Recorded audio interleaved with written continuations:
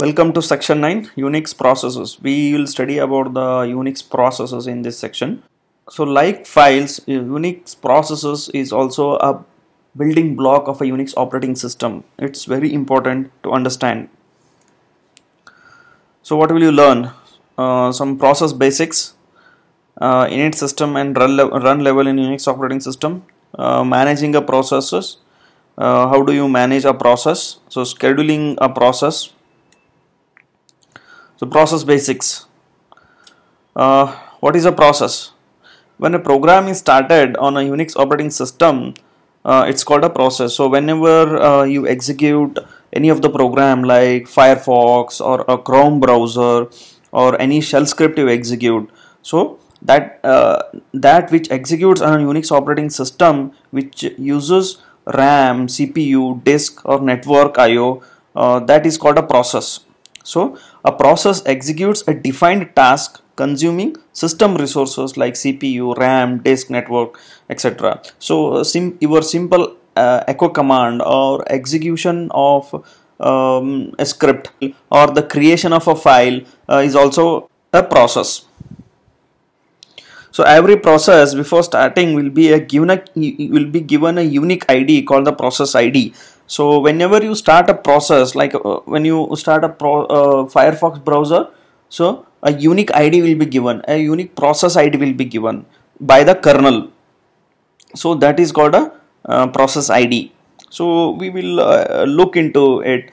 Uh, so how you can get the process id of a process later. Processes can be created by any user and only be destroyed by someone with the permission to do so so any any user can create the process. Uh, and a root a root user is a, which is a super user can destroy the uh, the process created by other users. So in our example uh, mark is a user and user 1 is the user. So he can uh, create a process. He can execute a shell script or any applications and create a process. So Further, a process can spawn other processes which is called a child process with a different PID. Suppose uh, here in example, suppose process A is there.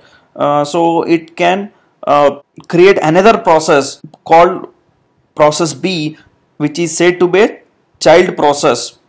So uh, here the PID is 3458 for process A. So the process B PID is 4843. So there, there exists another attribute called the PPID which is called the parent uh, process ID. So the parent process ID is the process ID of process A. Okay. So for process B, uh, process A is the parent. So this PID is given here uh, 3458 is the PPID for process B.